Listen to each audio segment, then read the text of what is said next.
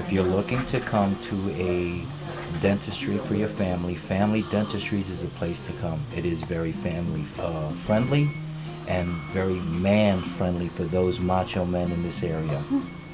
Thank you.